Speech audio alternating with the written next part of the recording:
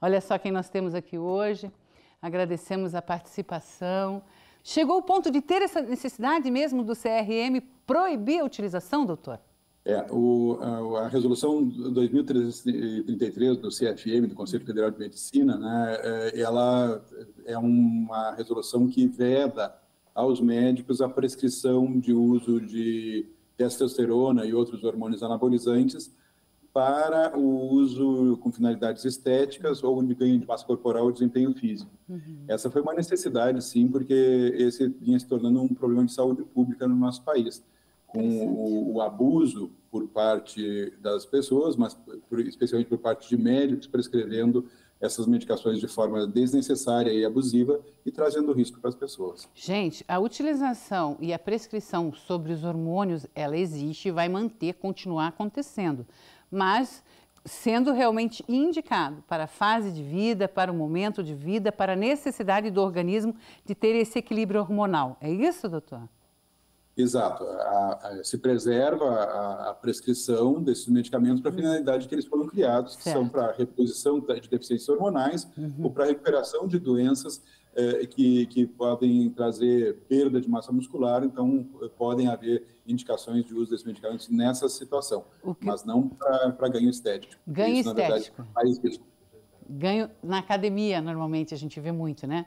Pessoas que é, estão e, numa e, fase de vida muito bem, com tudo funcionando direitinho, a questão hormonal, e colocam a mais, tem a indicação a mais desses hormônios, não é isso? Exato. Nas situações de deficiência, a ideia é fazer a reposição do hormônio para os níveis fisiológicos. Né? E o que as pessoas têm feito nessas situações de abuso é usar é, o hormônio, às vezes em doses, muitas vezes acima das doses fisiológicas, das doses normais que nós temos circulando normalmente no organismo há, um, há uns se eu não me engano, não sei se chega um ano atrás, poucos meses atrás, a Anvisa andou proibindo, inclusive, a compra de testosterona que o pessoal mesmo estava se aplicando, né? Às vezes comprando na farmácia. Então, quer dizer, existe todo um cuidado, uma avaliação, e nada como o CRM, hoje aqui com o nosso conselheiro regional, né, do CRM de Santa Catarina, porque são dados, gente, são pesquisas, não é, doutor? Até chegar a essa proibição é que muitos casos realmente aconteceram e com resultados bem complicados, problemas cardíacos, respiratórios. O que mais, doutor? É uma série de riscos, né? É, problemas cardíacos são um problema muito importante. Muito frequente, com, né? Com vários relatos de situações muito graves, também de transtornos de fígado, renais. Uh, e transtornos psiquiátricos, né, com, com pessoas ficando mais agressivas, com aumento de, de risco de dependência a essas medicações e também risco de, de a pessoa cometer violência e sofrer prisão, né, isso já está muito bem documentado em vários estudos. Doutor, em relação a, a, a aproveitando um pouquinho né, essa área, os médicos que podem realmente, que podem prescrever a questão deste equilíbrio, dessa, dessa dosagem hormonal, é o endocrinologista? Na verdade, qualquer médico está apto a prescrever. Está né? apto. Né? Essa, essa, o fato de a, pessoa ter registro médico, ou no caso é, é, é, de qualquer especialidade, ou mesmo médico não tem especialidade, ele pode fazer a prescrição do, da medicação. A questão é que indique para os casos adequados.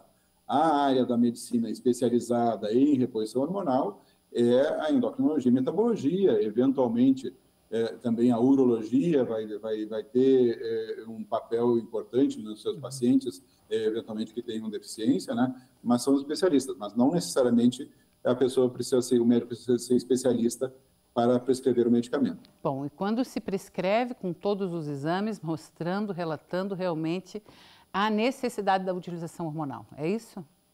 Exato.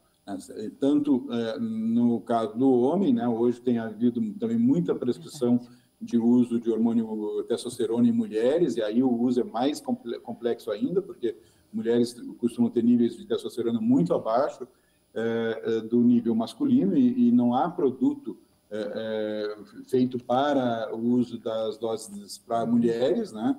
É, e as indicações de uso de hormônio masculino em mulheres são, são muito restritas para situações muito pontuais. E o que a gente tem visto é um boom de pessoas fazendo esse uso e trazendo para essas mulheres riscos de, de, complicações definitivas, como, por exemplo, engrossamento da, da voz, né, aumento de clitóris e também é, alterações de pelos corporais, perda de cabelos, então também é um problema bastante sério. Bom, gente, proibido a prescrição médica de terapias hormonais com fins estéticos quando não realmente necessário através do organismo para um equilíbrio hormonal.